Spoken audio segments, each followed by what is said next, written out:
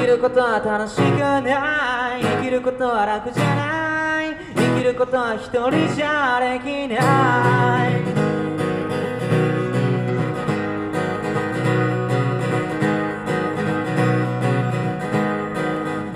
死ねばいい。なんて心の中で時々つぶやいたりして自分が嫌になってしまうんだ。何もかも壊れて崩れてしまうそんな衝動の中に入り込もうとしてまた自分が嫌になってしまうんだ。実って何ですか？思いやりって何ですか？常識って何ですか？大人って何ですか？死ねば憎しみや悲しみから解放されるのでしょうか？死ねば次から次へと降りかかる生活の鎖はちぎられるのでしょうか？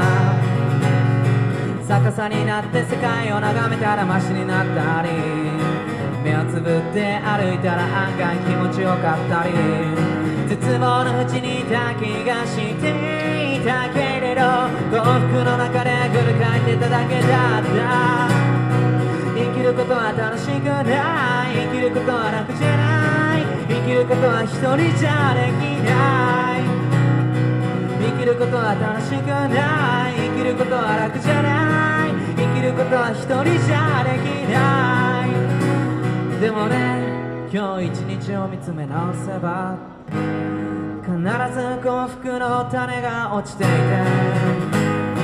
それを育てるかどうかはあなたがあなたが決めるんだ。幸せの種は毎日どこかに落ちていて拾われるのを待っている育てられるのを待っている。花咲つぼみ落ちるときあなたの心は澄み渡っているんだ生きることは辛いし生きることは苦しいし時々泣いてしまうでも生きてくことは一回きりで二度と同じ日は来ないんだやら逃げればいいあなたのあなたの心に従って歩く道はあなただけのものだからさ。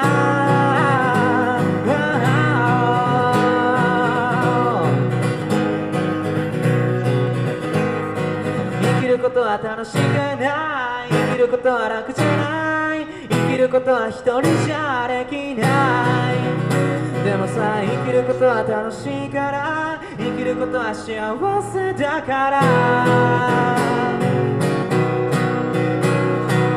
生きて生きて命をつないでけ。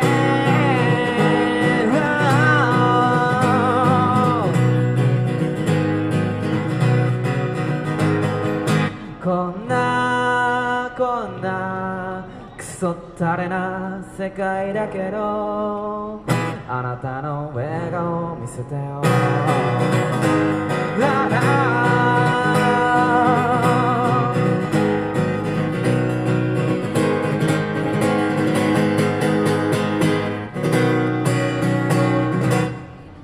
ありがとう。生きてみるというオリジナル曲を歌いました。